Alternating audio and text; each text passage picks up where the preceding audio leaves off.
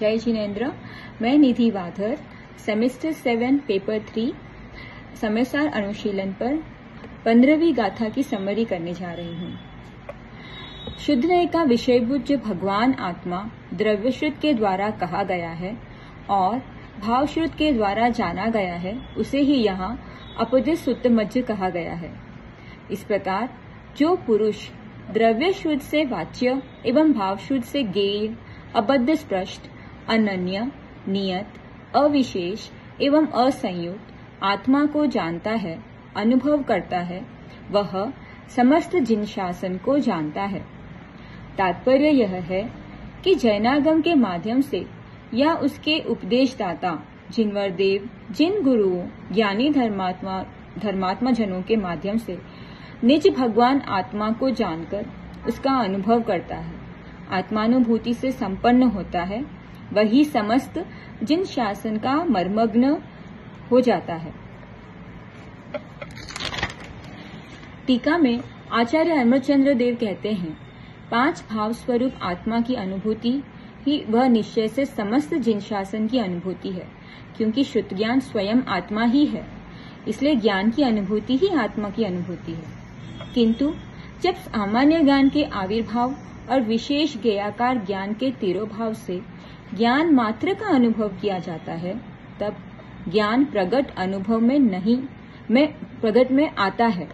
तथापि जो अज्ञानी है गेयों में आसक्त है, उन्हें वह स्वाद में नहीं आता है, इसे आचार्य नमक के उदाहरण से समझाते हैं। जिस प्रकार अज्ञानी व्यंजन लोलुप मनुष्य को अनेक प्रकार के व्यंजनों के संबंध से जो लवण का आने वाला अनुभव है उसमें सामान्य लवण का तो तिरोभाव और विशेष लवण का आविर्भाव होता है।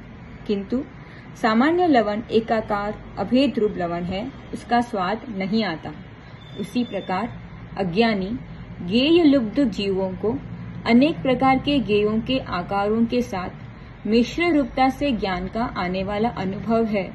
उसमें सामान्य ज्ञान का तिरोभाव और विशेष ज्ञान का आविर्भाव होता है। किंतु अन्य ज्ञाकारों के संयोग की रहितता से उत्पन्न सामान्य ज्ञान, एकाकार अभेद रूप ज्ञान स्वाद में नहीं आता। जिस प्रकार अन्य द्रव्य के संयोग से रहित केवल नमक का अनुभव किए जाने पर नमक की डली सभी ओर से एक शारस्व के कारण शार रूप से ही स्वाद में आती है, उसी प्रकार पर द्रव्य के संयोग का व्यच्छेद करके केवल एक आत्मा का ही अनुभव किए जाने पर चारों ओर से एक विज्ञान धनता के कारण यह आत्मा भी ज्ञान रूप से ही स्वाद में आता है। इस प्रकार आत्मा ही ज्ञान होने से आत्मानुभूति ही ज्ञानानुभूति है।